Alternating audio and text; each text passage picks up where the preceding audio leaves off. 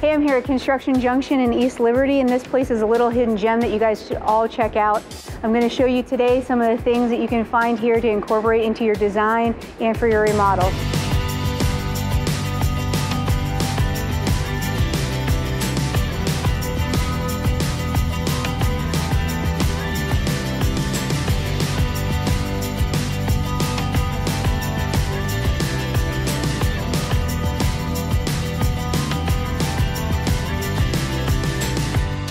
So this is um, totally cool. This is what I'm talking about.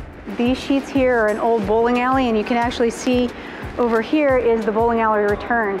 Um, these could be turned into a lot of really cool things. Um, I'm looking for a tabletop that we can put on casters to move around, um, but I just wanted to kind of show you some of the things that you can find here at Construction Junction.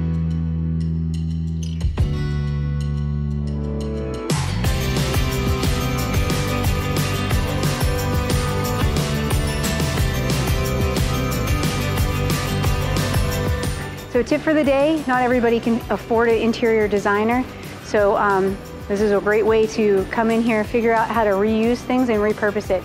At your home right now, you could probably redo the entire thing without having to buy a single piece and make it look completely different. So that's my tip of the day, get creative and um, reuse what you have.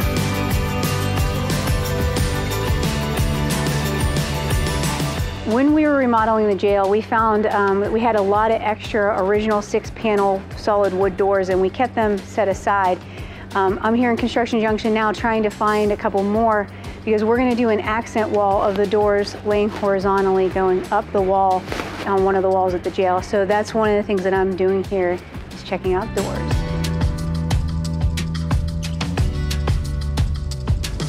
So check this out. You have a 60 inch vanity here that normally from Home Depot you would get for $600 retail. Here it's $100 and it comes with the side splashes and the backsplash. Great deals here. As you can see, there's a rainbow assortment of toilet colors here. So as you all know, I like some weird things. Um, one of the things that we've done is we purchased a whole bunch of whew, mannequin arms that we're gonna have hanging out the window or out the door um, to hang your coat on when you first come into the jail.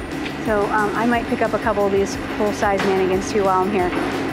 So when you come to stores like this and you find these, you know, beautiful big chunks of stone, there's a couple finished countertops too I'll show you. They're really hard to work, make them smaller or larger to fit your space. They have to be cut by a professional fabricator with a um, water jet saw. So I don't recommend coming in and buying a piece like this unless you're gonna pay to have it reworked. So I don't know if you guys know this about me, but prior to me being a full-time real estate agent, I ran a granite fabrication shop.